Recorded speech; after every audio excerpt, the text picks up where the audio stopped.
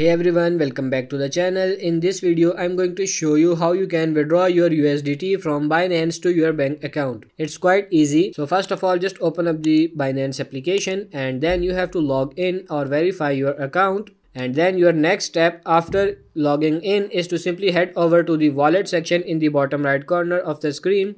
Now once on the wallet section, you are able to overview your wallet and take a look at where your crypto is stored. As you can see, I have in my funding. So just click on the funding and you are taken to where your crypto is. Now in order to send or withdraw your crypto into your bank account, you head over to the home section and click on this P2P menu. As you can see, we already have USDT on our Binance. So all we need to do is select sell option and by now selecting the sell option your next step is to simply head over to the profile icon in the bottom right corner. And once there simply click on this payment method.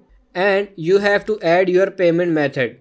Click on this add a payment method. Once you have done that you are met with a list of all payment methods. So once you have been enabled to your payment method all you need to do now is simply head over to the home section head over to the wallet again now simply click on the transfer option. Transfer your USDT from either your funding to your spot or from your spot to your funding. Please make sure you are transferring from spot to your funding so that you can be able to sell and once you have done that, head over to the home, select the P2P, select the sell USDT and this is the sell option. Once you have done that, simply scroll and click on this sell again and enter your amount you want to sell and by doing so you can click on this sell USDT and it's done. So that's pretty much it for this video. I hope this video was helpful. If it is like it and subscribe to the channel. Thank you.